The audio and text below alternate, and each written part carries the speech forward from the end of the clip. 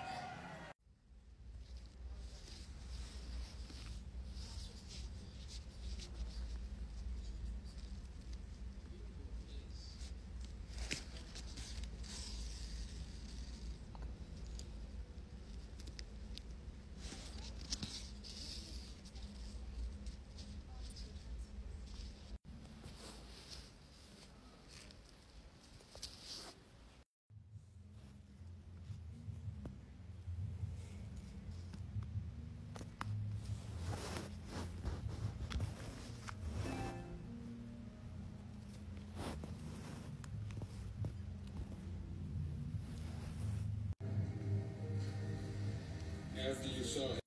They took him away, and then Detective McGilvery sleeping his